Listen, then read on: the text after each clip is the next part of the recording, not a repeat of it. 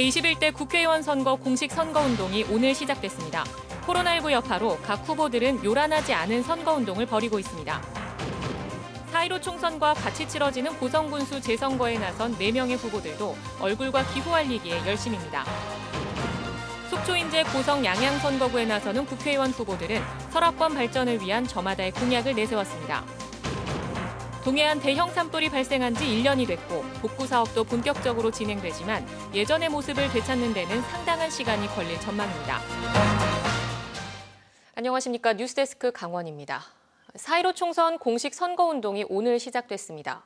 출마한 후보자들은 지역 곳곳을 누비며 얼굴과 기호 알리기에 나섰는데요. 표심을 잡기 위한 강릉 지역 후보들의 선거운동을 홍한표 기자가 전해드립니다. 선거운동 첫날인 오늘 아침 더불어민주당 김경수 후보는 유권자들의 반응이 뜨겁다며 승리를 자신했습니다. 강릉을 바꿀 힘있는 여당의 후보가 필요하다며 지지를 호소했습니다. 선수 교체가 좀 필요한 시기입니다.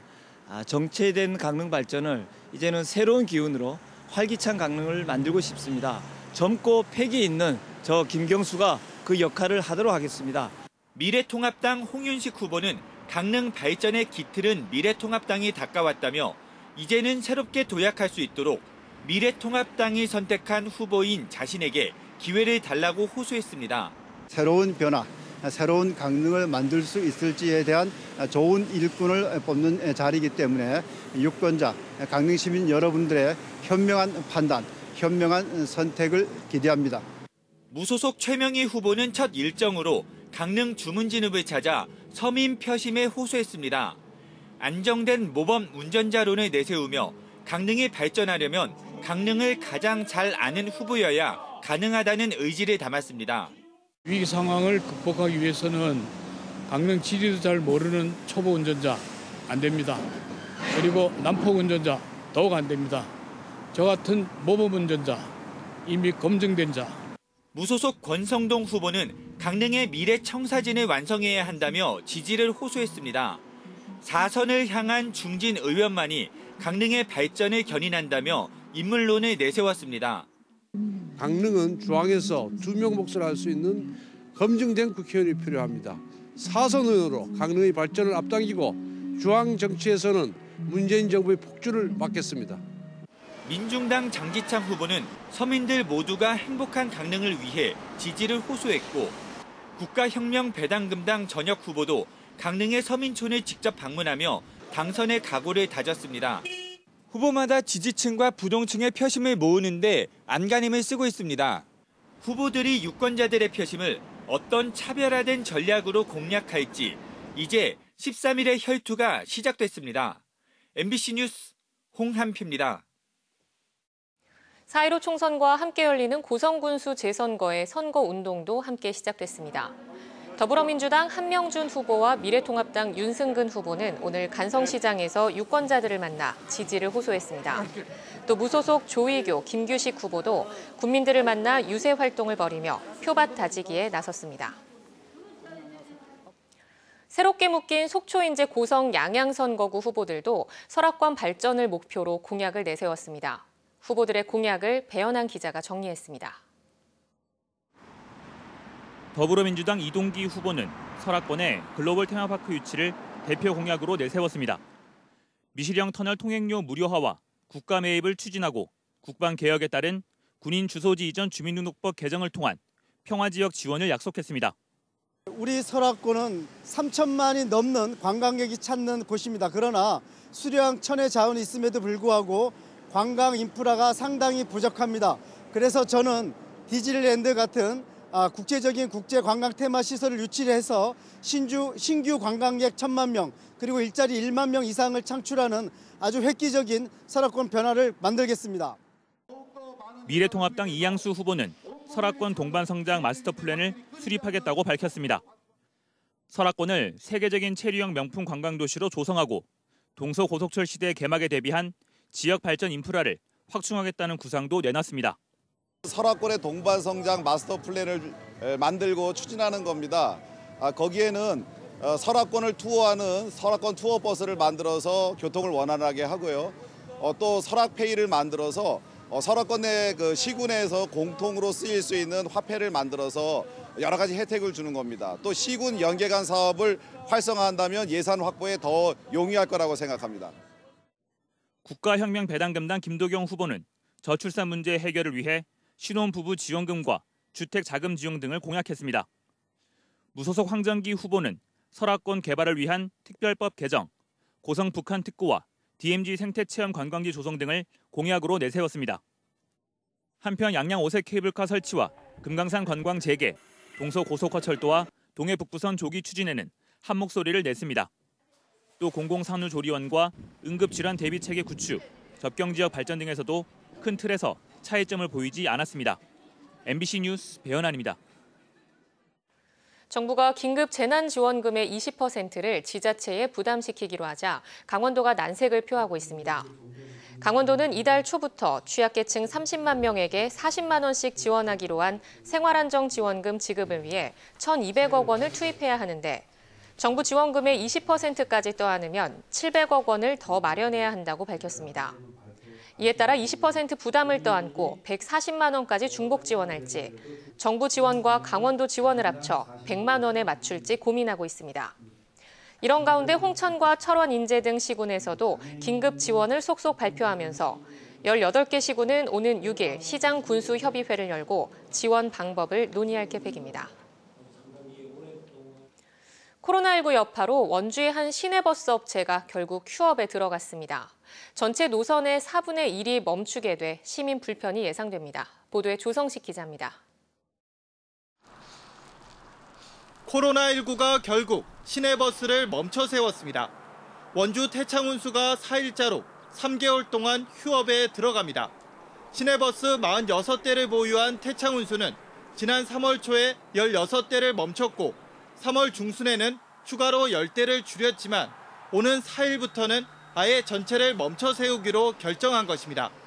코로나19 발생 이후 운송 수익이 평소의 30% 아래로 곤두박질 쳤고 학교 개학까지 추가 연기되면서 더 이상 운영난을 견디지 못한 겁니다. 강제 파산으로 있는 위험성이 저희 회사로는 있고 그 유지가 돼야 할 거 아닙니까? 그 서민들을 위하여 없을 수 없기 때문에 정부에서 어떤 대책 수단을 해주기. 이곳 관설동에서 시작하는 50개 노선의 시내버스 운행이 당장 절반가량으로 줄어들어 시민들의 불편이 불가피할 전망입니다. 이에 원주시도 난감한 상황입니다. 비수익 노선에 대한 손실 보전금을 미리 지급한 데다 코로나19에 긴급 재정을 많이 투입해 예산 여력이 부족한 상태여서 대체버스 투입도 선뜻 결정하지 못하고 있습니다.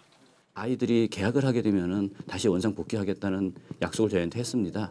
그래서 이제 그때까지만 임시적으로다가 면지역 16개 마을이 시내버스가 아예 운행을 못하게 되는 경우가 생겼습니다. 그래서 이 지역은 저희 그 희망 택시를 운영을 해서 이 같은 적자 상황을 버텨내고 있는 다른 시내버스 회사 두 곳도 코로나19로 계약 연기가 한두 달 더 이어지면 휴업이 불가피하다는 입장. 사실상 유일한 대중교통 수단인 시내버스 전체가 멈춰서는 초유의 사태도 배제할 수 없습니다. MBC 뉴스 조성식입니다. 동해안 대형 산불이 발생한 지 1년이 됐고 복구 사업이 본격적으로 시작됐지만 아직 갈 길은 멉니다. 나무를 심어 울창한 숲으로 돌아가는 것도 오래 걸리지만 생태계가 본연의 모습으로 회복하는 데는 더 오랜 시간과 노력이 필요합니다. 이용 기자가 보도합니다. 지난해 4월 고성과 속초, 강릉, 동해 등 동해안 4개 시군을 포함해 인제까지 휩쓴 대형 산불. 타버린 면적만 2,832헥타르, 축구장 3,960여 개와 맞먹는 크기입니다.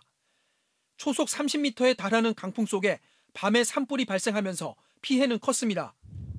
지난해부터 4년에 걸쳐 피해지를 복구하는 나무 심기 사업이 추진되고 있지만 산림 본연의 모습을 회복하기까지는 많은 시간이 필요합니다. 경관과 식생이 예전 모습으로 되돌아오려면 20년, 야생동물이 돌아와 살기에는 35년 이상의 시간이 필요합니다. 산불 발생 이전의 나무로 성장하려면 최소 50년 이상의 시간이 필요합니다. 또한 생태적으로 안정된 산림의 모습으로 돌아가려면 더 많은 시간이 필요합니다. 산불로 인해 산성화된 토양의 경우 나무가 잘 자랄 정도로 회복하려면 100년 이상이 필요하다는 연구 결과도 있습니다.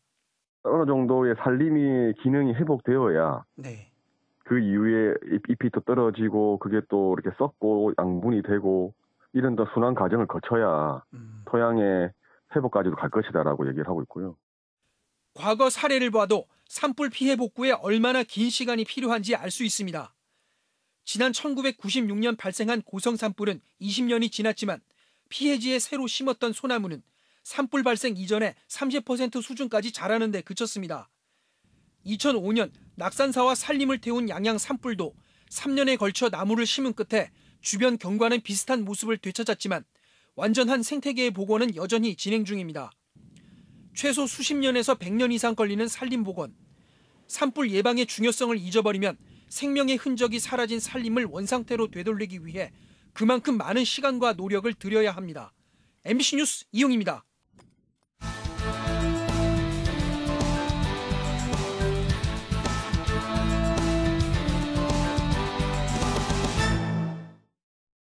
오는 9일부터 순차적으로 실시되는 초중고교의 온라인 개학을 앞두고 일선 학교별로 준비가 한창입니다. 강원예술고는 오늘 학생들의 신학기 교과서를 주차장에서 드라이브스루 방식으로 나눠주고 외지 학생들에게는 택배로 보냈습니다. 강릉여고에서는 EBS 온라인 클래스를 이용한 수업과 학급 관리 등에 대한 시범 수업이 열렸습니다. 각급 학교별로 다음 주 초까지 대면을 최소화한 방식으로 교과서 배부와 원격 수업 준비가 실시됩니다. 태백시의회 의원들이 올해 해외 연수비를 반납하기로 했습니다. 태백시의회는 코로나19로 어려움을 겪는 시민들과 고통을 분담하기 위해 올해 예산에 편성된 국외여비 3,500만 원을 전액 반납한다고 밝혔습니다. 태백시 의원들은 또 오는 4일 버스터미널 등 다중이용시설을 찾아 방역 활동을 펼치기로 했습니다. 양양군이 인터넷 쇼핑몰 강원 양양몰에 입점할 기업을 추가로 모집합니다. 강원 양양몰은 양양의 중소기업 제품, 농수특산물, 정보화마을 제품 등 27개 기업 420여 개 제품을 판매하고 있는 가운데 서핑 체험 상품 등 13개 업체를 신규 모집하기로 하고 오는 20일까지 신청을 받습니다. 선정된 업체는 판매 지원과 마케팅 교육, 오픈마켓과 연동한 개별 쇼핑몰 구축 등의 지원을 받을 수 있습니다. 동부지방산림청이 산림재해 예방을 위해 산악 기상관측망 구축 사업을 추진합니다. 4억 원을 들여 이달부터 6월까지 강릉과 평창 등 도내 산림 10곳에 풍속과 강수량 등을 측정하는 산악 기상관측 설비를 설치할 계획입니다. 산악 기상 관측망 구축이 완료되면 산악 기상 정보를 정확히 파악할 수 있어 산사태 등으로 인한 피해 예방에 도움이 될 것으로 기대됩니다. 강릉의 관광 명소인 정동 심곡 바다부채길이 임시 휴장에 들어갑니다. 강릉시는 관람객 불편 해소를 위해 5억 원을 들여 탐방로 확장과 안전시설 확충 공사 등을 시행함에 따라 오는 4일부터 한 달간 바다부채길 운영을 중단한다고 밝혔습니다. 이번 휴장은 코로나19 사태와는 관계없고 협소한 탐방로 구간 5곳을 확장하고 경사가 심한 곳에는 장애인과 노약자를 위한 난간대를 설치할 계획입니다. 2020 문화가 있는 날 지역문화 콘텐츠 특성화 사업에 도내 7곳이 선정됐습니다. 태백 널티 등 3곳은 신규 지원단체로 선정돼 7,500만 원씩 지원받고 정선 3탄 아트마인과 강릉 파랑달 협동조합은 2년차 연속 지원 사업에 선정돼 각각 7천만 원, 5천만 원의 사업비가 지원되며 3년차, 5년차 사업은 원주 한 곳, 춘천 한 곳이 선정됐습니다. 지역문화 콘텐츠 특성화 사업은 지역의 문화예술 기획자와 예술가, 지역민이 협력해 지역의 유무형 콘텐츠를 활용해 문화 프로그램을 발굴하고 전하는 사업입니다. 동해시가 주민참여 예산제도 활성화에 나섭니다. 동해시는 주민참여 공모사업 신청을 받아 내년에 20억 원의 예산을 생활 밀착 시정 참여형 사업과 마을 단위 자치 계획형 사업에 반영할 계획입니다. 지난해에는 공모사업에 신청된 47%, 27건의 사업이 선정돼 17억 원이 올해 본 예산에 편성됐습니다. 지방자치단체가 의무적으로 쌓아두고 있는 재난관리기금의 활용처가 확대돼 코로나19에 따른 지자체의 재정 운용에도 숨통이 트일 전망입니다. 행정안전부는 지자체가 코로나19로 어려움을 겪는 소상공인과 취약계층을 지원할 때 재난관리기금과 의무 예치금을 사용할 수 있도록 재난 및 안전관리기본법 시행령을 개정해 오늘자로 공포했습니다. 이에 따라 강원도 각 시군들은 수십억에서 200억 원대까지 적립한 재난관리기금을 활용해 코로나19 극복 시책을 마련할 수 있을 것으로 기대됩니다. 정성군이 코로나19 사태로 폐쇄했던 지역 내 관광 시설들을 다음 주부터 순차적으로 개방합니다. 강원 뉴스 마칩니다. 시청해주신 여러분 고맙습니다. 오는 20